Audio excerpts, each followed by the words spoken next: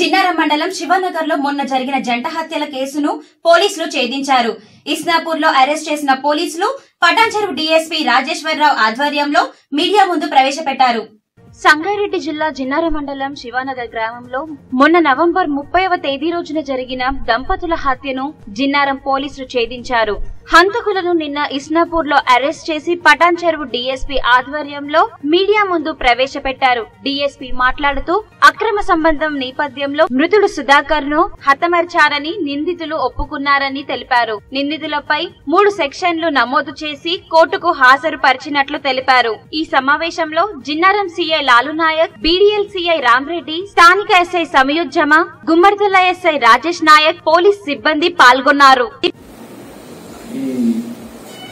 అతడు నేరస్థ మైతోళ్ళు సుధాకర్కు పై వీరందరికీ ద్వేషం ఉన్నది.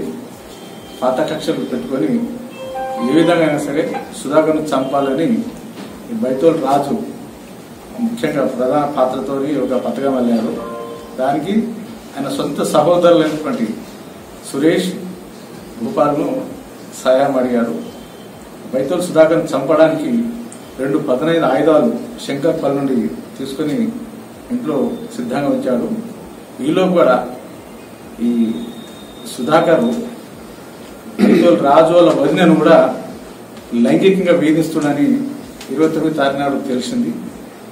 ఆమె కూడా మరుదులతో మొరపెట్టుకున్నది. సుధాకర్ నన్ను లైంగికంగా వేధిస్తున్నాడు. వివేక వివేకేతర సంబంధాలు కొనసాగించడానికి కోరు వెంటబడుతుందంటే కోప కోపోద్రుడైనటువంటి బైతోల్ రాజు ఇద్దరు సహోదరులను తీసుకుని శివనాయకు ఇస్నాపూర్ నుండి శివనార్కు వచ్చారు. ఆయుధాలను కూడా వెంట వచ్చారు. ఈ పార్వతమ్మ ఇంట్లో మద్యం సేవిస్తూ ఒక పథకం వెళ్ళారు పథకం వెళ్ళి సుధాకరు ఆయన భార్య ఇంట్లో ఉన్నారా లేదా ఈ పార్వతాన్ని పంపి నిర్ధారించుకున్నారు.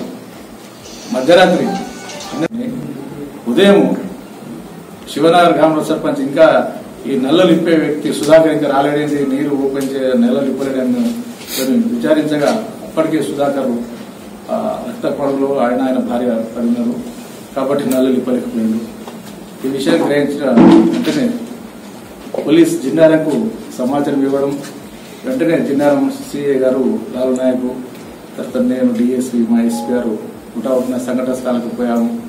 పోయి చూస్తే రెండు శవాలు నిర్దాక్షంగా చంపబడి మొదలు ఉన్నాయి పోలీసు జాగ్రత్తను తర్వాత గ్లూస్ టీము ఈ సీసీ కెమెరాలు ఇవన్నీ ఉపయోగించి ఆ నేరస్తులైనటువంటి ముఖ్యంగా